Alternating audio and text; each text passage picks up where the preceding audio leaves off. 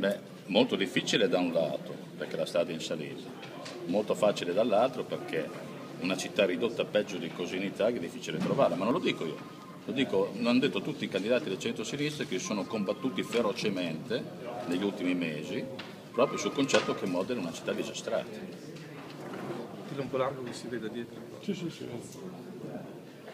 Ci sono degli- dei punti sui quali lei assolutamente non transigerà nella sua campagna elettorale, la rivitalizzazione del centro storico per esempio so che era una delle cose. Beh, un po' come diceva Bartoli, qui è tutto da rifare,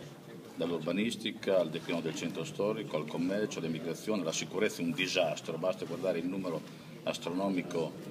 eh, delle case svaligiate a Modena e dell'allarme sociale sulla sicurezza, il declino economico, le scelte disastrose come quelle dei chioschi, la distruzione del parco che ha comportato un intervento dell'amministratura, poi anche una deriva dal punto di vista dei valori di questa città portata avanti anche da parti della sinistra che lavora per scardinare questi valori. Un'ultima domanda, manca ancora un mese circa la presentazione, secondo lei una riunificazione della sinistra, della destra è possibile? Ma parliamo de- della Modena moderata, parliamo del centro-destra, parliamo di tutti coloro che dopo 70 anni, giustamente come in tutti i paesi democratici e in tutte le realtà di tutto il mondo, vorrebbero anche il cambiamento.